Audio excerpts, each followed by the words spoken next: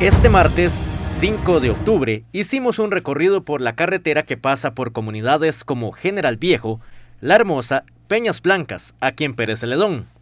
El motivo de esta visita es que existe cierta preocupación por parte de vecinos y usuarios de la ruta por las altas velocidades que desarrollan algunos conductores que usan la vía. La preocupación radica en que puede suceder un accidente. La muerte de un hombre que viajaba en bicicleta durante las primeras horas del sábado pasado aumentó esta preocupación. Y es que la ruta es usada por ciclistas de forma recreativa y también para ir a sus labores. Aquí la carretera es muy angosta, aquí en Peñalanca, General Viejo, y los vehículos no están respetando las señales de tránsito. Las velocidades a veces pasan a 50 unos, otros pasan a 80, 90 kilómetros por hora, es un peligro. Entonces, entonces anda uno siempre un poco temeroso de esta situación. No sé cuál sería la, la, la función de, de los delegados del tránsito para regular esta, esta actividad. Don Harold tiene un negocio en General Viejo y es testigo de irresponsabilidades por parte de conductores que circulan por esta ruta.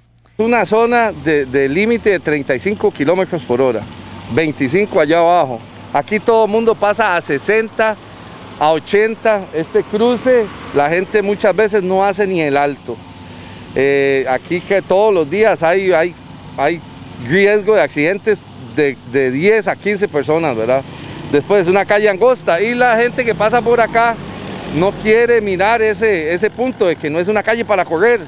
Va gente caminando y la gente ahora pues anda como, como rápido, como que no quieren esperar. Ah, no hay nada de, ¿cómo se llama esto? De, eh, de respeto hacia, hacia los demás. Y es que esta vía tiene características que propician que los conductores aumenten la velocidad. Es una son varias las rectas en esos tramos que son bastante grandes, desde, inclusive desde el sector de Peñas Blancas hasta llegar ahí al cruce de Marsella.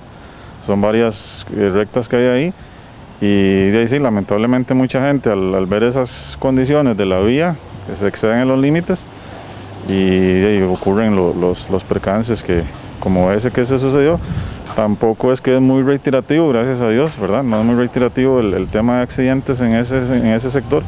Para las personas que usan esta ruta a diario, se necesita una vigilancia mayor por parte de las autoridades de tránsito.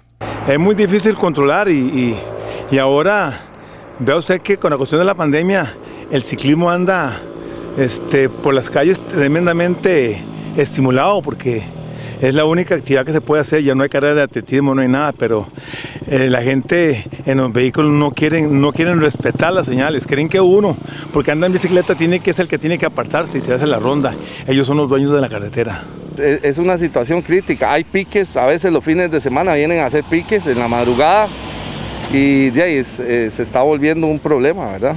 La gente manejando tomada, la mayoría de la gente, eh, usted llama al tránsito, le dice que llame aquí, que llame allá, y no, es un problema porque también de ahí no se hace nada.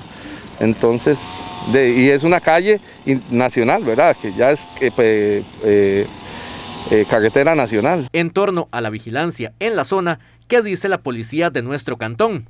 Pero sí, vamos a, a mitigar esfuerzos, a, a, mandar el personal a que esté por lo menos realizando vigilancia activa ahí sobre el sector para de que no, no, poder, o sea, no, no, no se vaya a dar otro suceso como el, como el que aconteció estos días. En la Delegación de Tránsito de Pérez Celedón también dejaron claro que están trabajando de forma conjunta con otras autoridades de la zona para evitar actividades clandestinas y que propicien la combinación entre volante y licor. Han venido realizando todos los eh, esfuerzos necesarios para mitigar esa situación eh, tanto Fuerza Pública, Tránsito, Municipalidad, visitando eh, clandestinas, visitando inclusive fiestas que, que la gente realiza ve, y a pesar de la, de la situación que enfrenta el país con esta enfermedad.